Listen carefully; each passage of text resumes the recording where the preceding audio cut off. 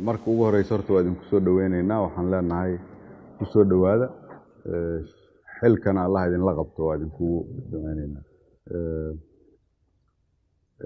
waxaan aaminsanahay inaad og tihiin sida aada maantaba wasaaradda arrimaha gudaha kala munaaqashooteen iyo dadka aad la kulanteen howlaha idin hor yaalla ahamiyadda ay leeyihiin iyo tiradooda intay la-eg tahay laakiin annaga maanta waajibaa naga dhacay. Waajibka naga dhacay waxa uu yahay shaqadii annaga kaligeen nala ku ogaa gacmaha la idin soo geliyay hadda. In la isu keeno dadka reer galmudug dhammaantood loo fidiyo gogol ay isu yimaadaan ay ka wada hadlaan wax walboo tabasho ay qabaan. Laakiin gogoshu ay ahaato tii u gogol xaaraysay in gogol rasmi ah la sameeyo oo ah in dowlad la dhiso. Dowlad loo wada dhan yahay nidaam cadaaladaha ku dhisan hadafkeedu uu yahay inay dadka reer galmudug dhibka ka saarto bixiso adeegyo.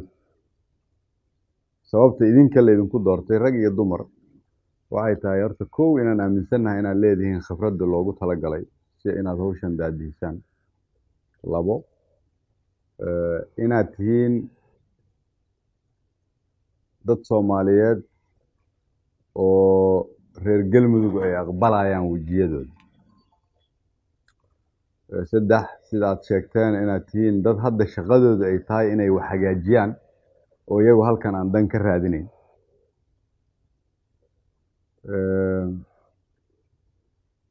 Iyo tan ugu dambeysa idinka laftiinnu inaad aaminsan tihiin shaqadani inay gobolkana muhiim u tahay dalkana muhiim u tahay idinka iyo annagana muhiim noo tahay kulliga.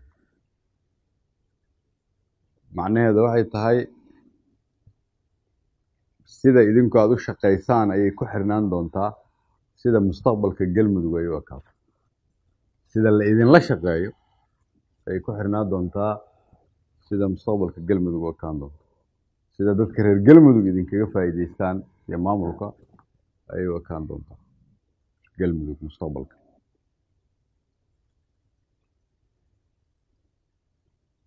Dadka reer galmudug oo anigu inta aan joogay aan ku soo arkay meel walba niyaddoodu waa niyad furan.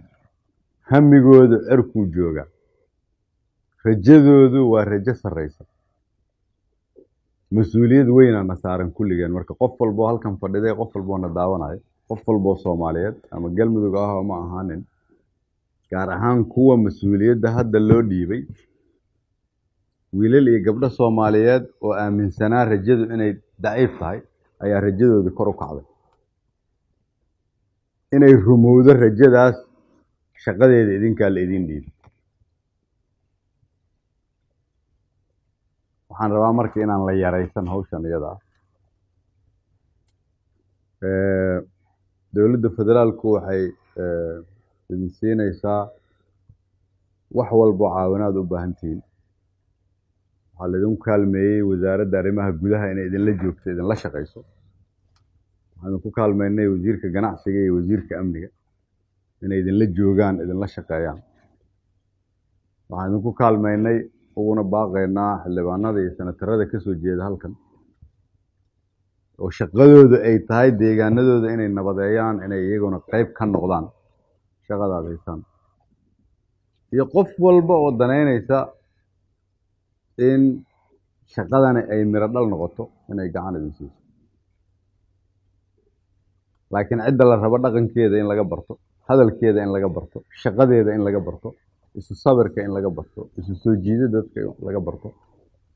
Waa cidda loo xil saaray inay dadka keento si adeegyada looga baahan yahana loo bixiyo dadka soomaaliyeed oo galmudug degan oo cadowga ku habsadana nidaamkaasu uga caawiyo siday isaga dulqaadi lahaayeen.